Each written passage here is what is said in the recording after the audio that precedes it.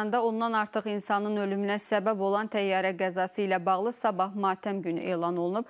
Hava gəmisinin qəzaya uğraması nəticəsində 16 nəfər həlak olub, 6 nəfər isə xəsarət alıb.